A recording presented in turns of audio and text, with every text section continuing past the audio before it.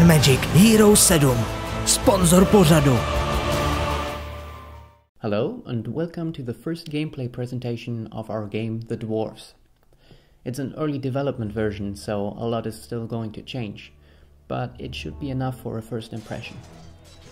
I'm playing Glandallin, a dwarf from the Fifthling clan, and like all the other dwarven clans, they guard Girdlegard. That's the world the game takes place in.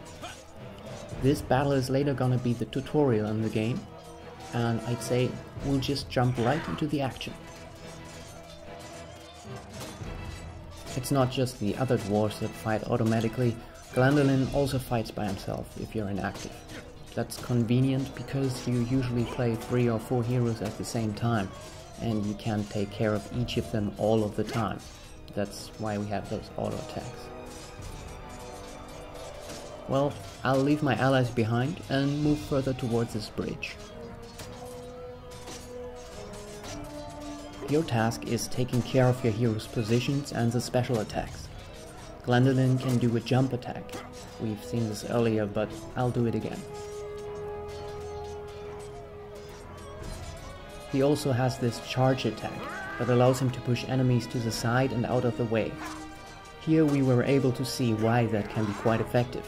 I just pushed some orcs off the bridge. His third special attack is a mighty blow, dealing lots of damage and throwing enemies back in a straight line.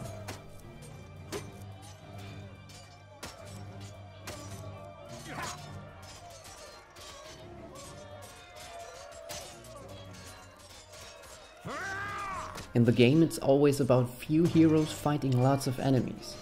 That's why you have to make use of the environment. The enemies have a flocking behavior and their movements are generated physically correct.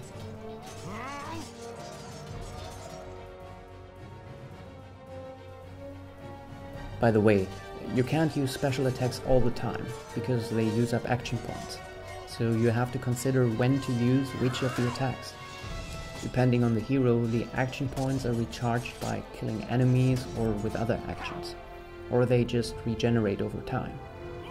The action points are displayed above the heroes. It's these small blue dots. Okay, I just got a few grenades that I can use in battle. You can clearly see how the power of the grenades pushes the enemies apart.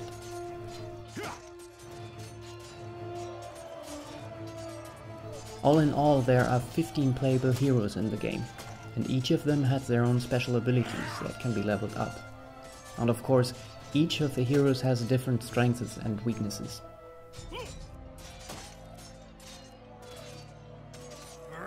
Down here, in the middle of the screen, I can see my current objective and the objective of the orcs. In this wave of attack, I have to kill a certain amount of orcs. My king! What are you doing here? Giselbert Ironeye, the father of the Fifthling clan, has not been on the front line of battle against the creatures of Tion for many cycles. The king surveys the battlefield and the defenders with a grave expression. We are too few. This you know as well as he does.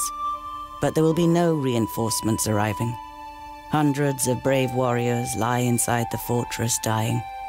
The illness is running rampant. It brings weakness and death. Stay at your posts. Be as steadfast as the granite of which we are made.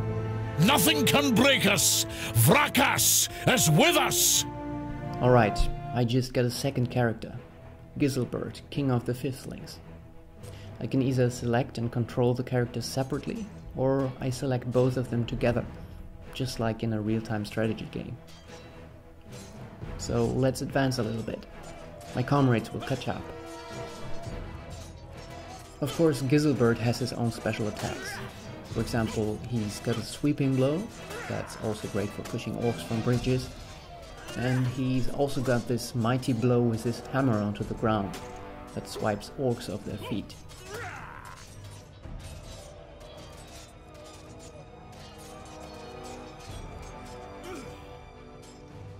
Later in the game, the abilities of different heroes can complement each other. For example, maybe one of them can stun enemies while another one deals guaranteed critical damage to stunned enemies. We'll just ignore these ogres here and move towards those catapults. That will be the target of the second wave of attack. But we'll just skip that and move right to the end of the tutorial.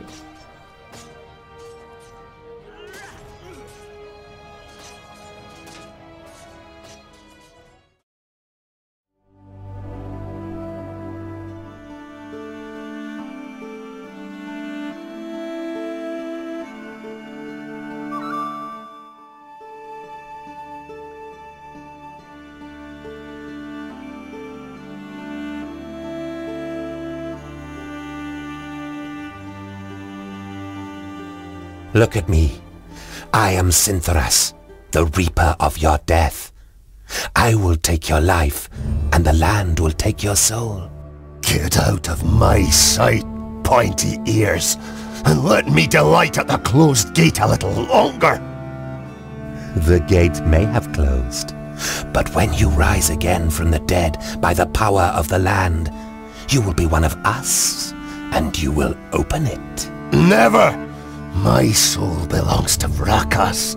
No, your soul now belongs to the land, and henceforth you will belong to it forever.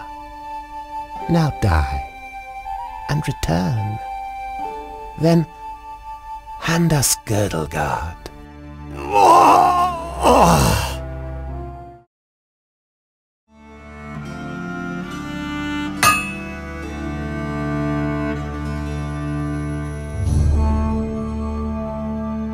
You're a perfectionist, Tungdil Bolofar. I've got a reputation to uphold. If you can't rely on the metalwork of a dwarf, what can you rely on? So, this now is the actual beginning of the game, about a thousand years later. You look dreadful. What a charmer.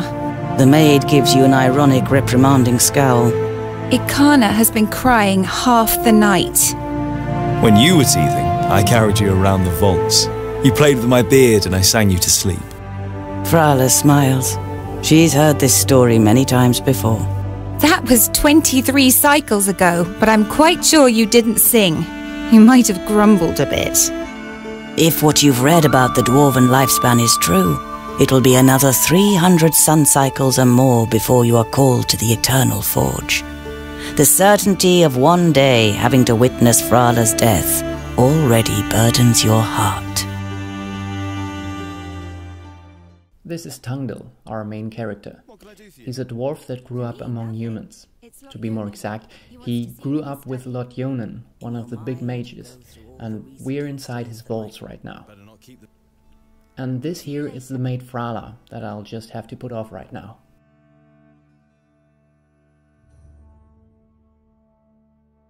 I can now move around freely with Tungdil and examine different objects in the environment. You've worked a bit more on Sunja's birthday present last night. The little one is crazy about horses. You, on the other hand, prefer to keep your distance unless you're fitting them with hooves. Too many legs and way too big. Before we now scout around in the vault some more and set out into the world, we'll end this first small gameplay presentation. If you support us on Kickstarter, you can get a first alpha version of the games beginning within this year, and will then receive regular updates until the game is released in mid 2016. We hope that you liked this small impression, and we're looking forward to your feedback.